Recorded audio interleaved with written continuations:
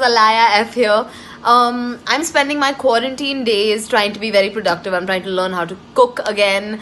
Uh, I used to cook a little bit in New York, but then I'm trying to properly learn and you know um, try new things. I'm drawing a lot. I'm you know trying to do a lot of interviews and you know anything I can you know with my phone because that's my only mode of connect to you guys.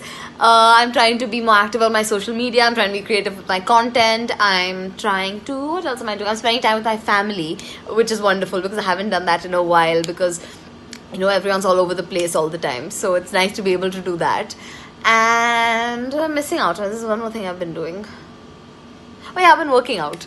I've been working out um, at home, which I, it's not something I usually do. I usually go out to classes or I do fun things outdoors to, you know, get my exercise in. But now I'm working out at home every day, which is actually what I hate doing, but I'm getting into the habit of it.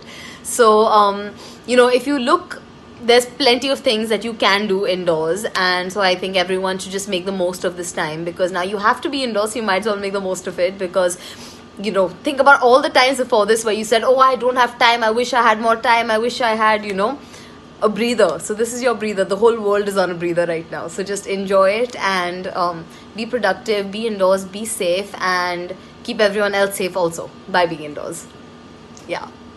I mean make the most of your quarantine